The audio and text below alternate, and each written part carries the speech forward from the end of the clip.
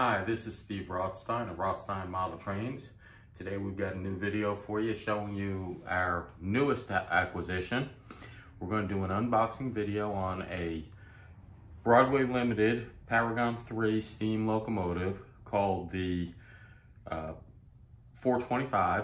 It's a Pacific model, light Pacific, which means that it has a 462 configuration, four wheels on the leading axle that are not driven, six driving wheels, and then two on a trailing axle. And this one's very interesting because it is the scale model of a train that is still in use, uh, the Reading Blue Mountain and Northern number 425. The train was originally built in 1928, served pulling coal and passengers until about 1950 when it was retired and was put back in service recently uh, pulling excursion trains uh, out of Port Clinton, Pennsylvania for the Reading, Blue Mountain, and Northern Railroad. And they painted it blue, and this is the first time we've got it. It's a brand new engine for us. We're gonna see how it looks and how it works. So when we open it,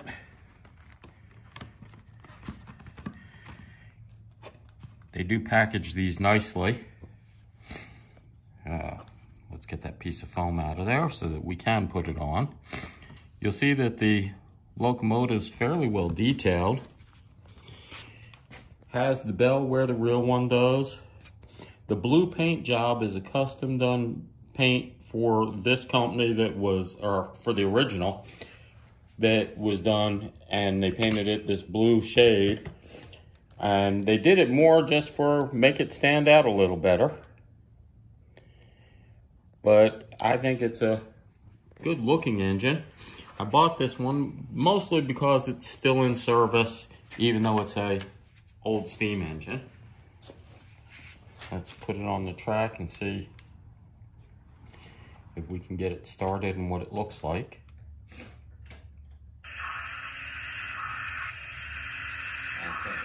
It running. Comes with a default address of 03. And it looks like something's wrong it. Sorry about that. We found that we had a problem where I missed pulling out one of the pieces of foam block that they use to pack it and keep it going. And that's what was causing the problem.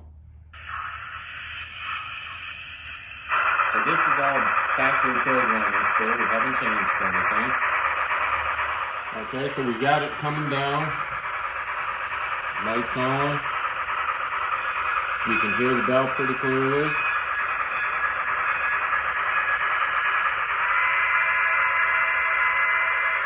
Whistle's not bad.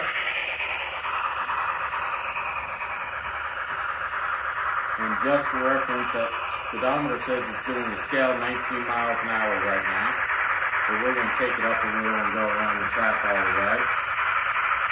And then we're going to show you the neat part of what we did.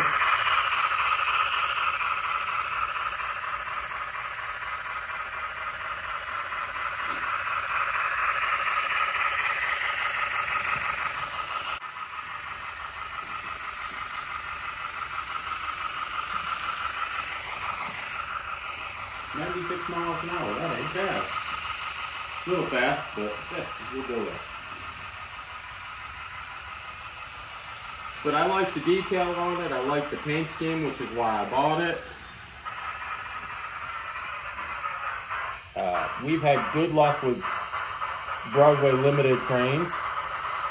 We actually ordered this one through our local hobby shop, uh, Dibbles Hobbies in San Antonio, and we will put a link for them in the comments or in the description. And one of the other things we got lucky with on this train, which helped convince me to get it, is Atlas made a set of passenger cars. So you kind of get a double unboxing. Atlas has the complete set of the antique style passenger cars that it is using now when it goes on uh, excursions. So let me stop the train so we have some time. And we will put the passenger cars on and see how it pulls them.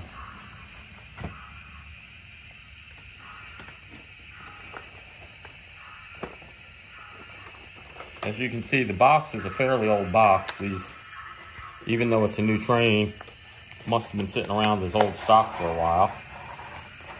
First time I've done this with Atlas cars.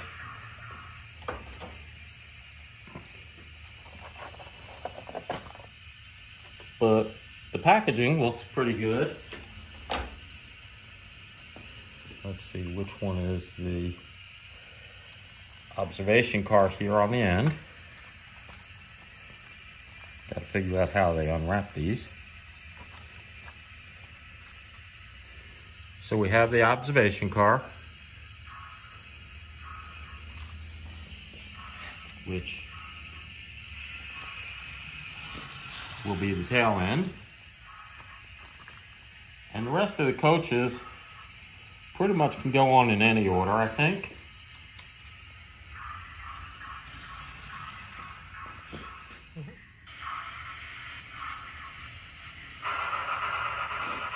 So, this is what it looks like with them. We've had a little bit of a problem with some of the cars. We had a coupler that doesn't want to couple properly, and we're going to have to get it fixed, but that's not uncommon with these cars. I think it makes a nice looking train. To give credit where it's due, one of the things we haven't done yet that I just found in the box for the cars is that Atlas gave us separate to plug in all the couples, the, the tubes that go between the cars so that you can see where they join the two as people would walk through and we just have to put them all in.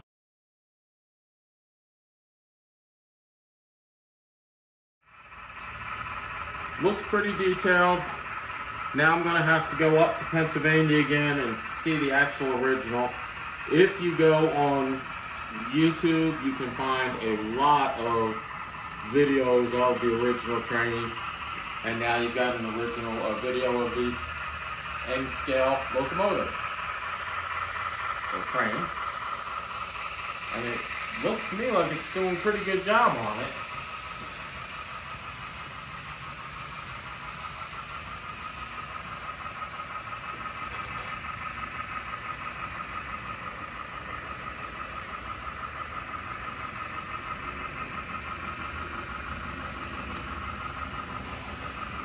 So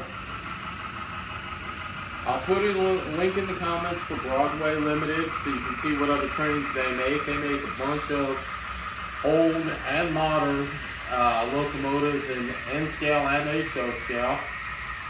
I will put a link in for Dibbles Hobbies. I strongly recommend them. They will custom order for us. They'll do uh, a lot of work for us.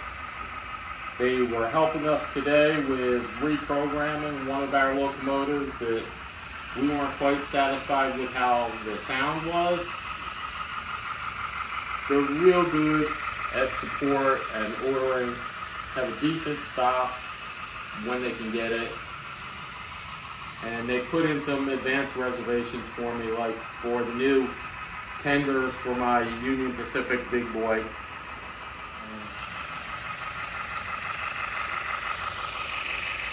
We will see you next week, hopefully.